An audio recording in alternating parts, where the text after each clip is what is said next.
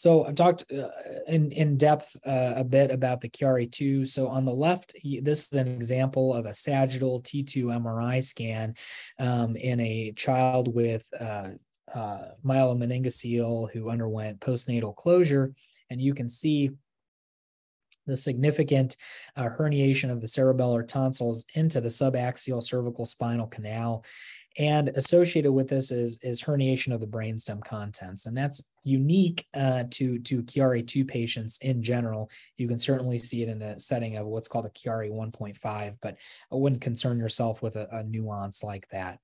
On the right, this is actually uh, a patient that has a open neural tube defect that was closed postnatally and doesn't have a Chiari 2 malformation.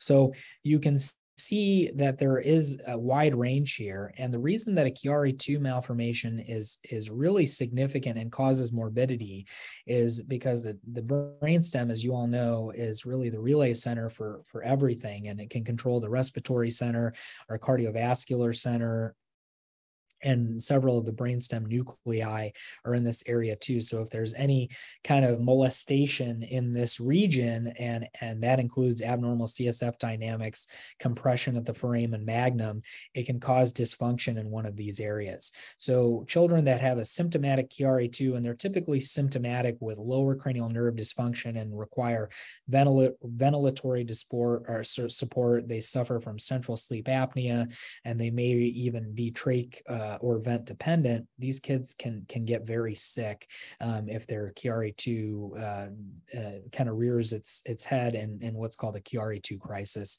So those kids, in my mind, are, are very sick and need urgent attention if those come to your to your clinic or your ER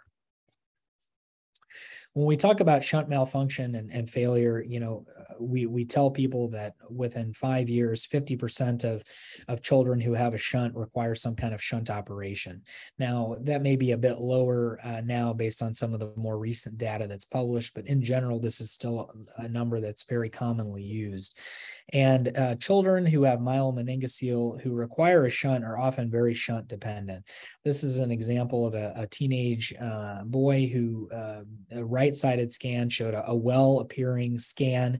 Um, you can see small ventricular spaces. The left scan shows a, a, very ill teenager, same kid in the ER, nausea, vomiting, bradycardic, um, and concerning for acute hydrocephalus.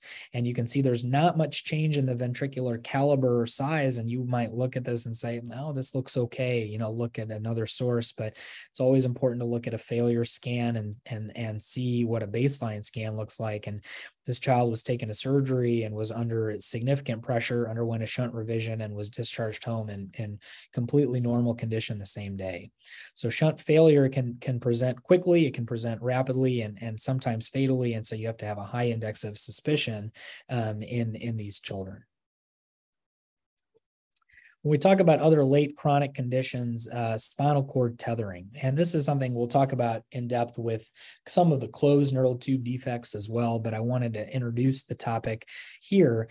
By definition, children that have undergone closure of a myelomeningocele, their MRI has the appearance of a tethered cord, meaning that their conus is going to be at a low lying level because of their congenital abnormality. So you, this this is a picture of a child on the right, a sagittal T2 MRI scan. You can see the conus medullaris. It's a little hard to make out probably on the screen, but it ends really towards L4, L5.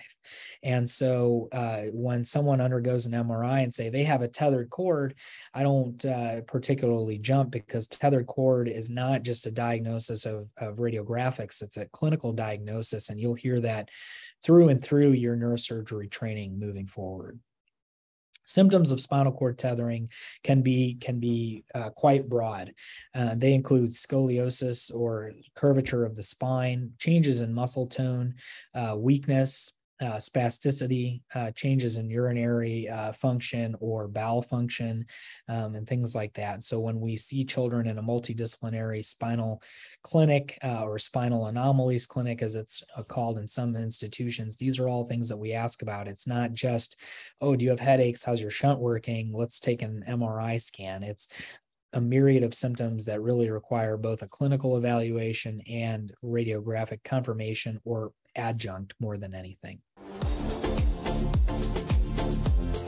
Everyone, Ryan Rad here from neurosurgerytraining.org. If you like that video, subscribe and donate to keep our content available for medical students across the world.